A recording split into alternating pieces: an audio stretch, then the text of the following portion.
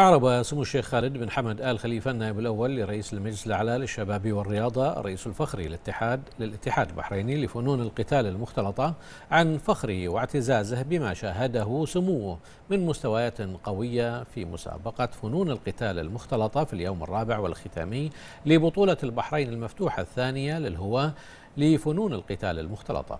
التي نظمها الاتحاد البحريني لفنون القتال المختلطة بالتعاون مع اللجنة الأولمبية البحرينية ومنظمة خالد بن حمد لفنون القتال المختلطة على صالة نادي الرفاع الرياضي والثقافي. وأشاد سموه بالمشاركة الكبيرة التي شهدتها هذه المسابقة من مختلف المراكز والمدارس البحرينية لفنون القتال المختلطة.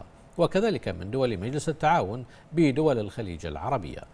مضيفا سموه أن المستوى القتالي الذي شهدته المسابقة أظهر للجميع أن اللعبة تسير وفق خط تصاعدي من التطور عبر الخطة التطويرية التي رسمناها والتي ينفذها بنجاح الاتحاد البحريني لفنون القتال المختلطة برئاسة سعادة العقيد خالد عبد العزيز الخياط. وذلك للارتقاء بمستوى هذه الرياضة على المستوى المحلي والذي يدعم مكانة البحرين على خارطة الرياضة الدولية.